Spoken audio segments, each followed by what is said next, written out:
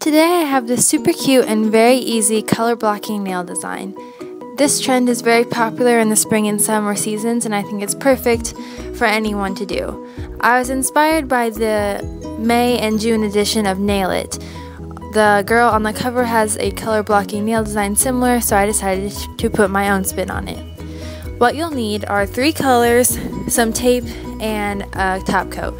I'm using masking tape only for the purpose so that you can see it easier on the video as opposed to scotch tape, but either will work. The You need a top coat to seal in your design, and I'm using a pink from Sally Hansen and Peachy Breeze. I'm using a purple from Wet n Wild and Through the Grapevine.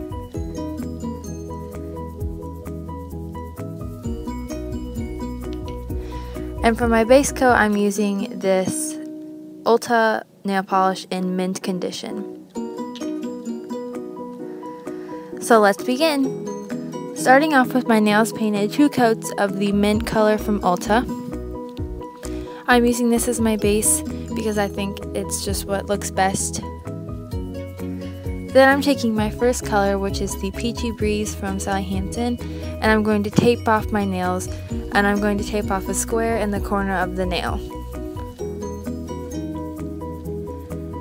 I made sure that I made this square pretty big because I wanted a obvious color blocking effect. And then all you're going to do is just take your first color and paint right in the square. Make sure that you get all the way to the edge and to the very line so that you get crisp and clean lines and have a perfect square. You then repeat this on all of your nails. After you're done, peel off the tape very slowly so that you get a crisp and clean line. So here's what the first step looks like. And then taking your second color, you just repeat the same steps. Just tape it off onto the smaller circle, or square, sorry, and then just use the other color to paint right into that.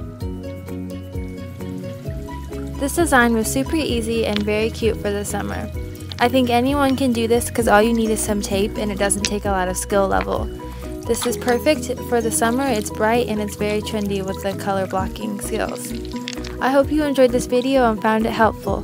Comment down below with any requests that you have for future nail designs and be sure to give this video a thumbs up. Also, check out my channel LoveBeautyX17 for more nail videos just like this.